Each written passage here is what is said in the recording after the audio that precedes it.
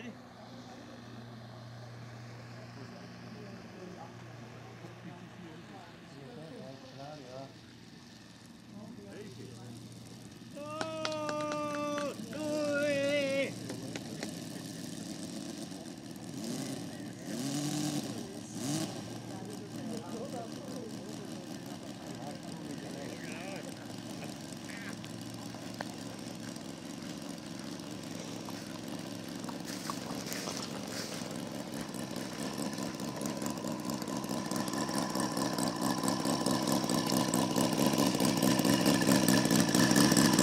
So, ein paar kleine Worte vom Pilot zum, Ja, zum Modell. Ist alles gut gelungen.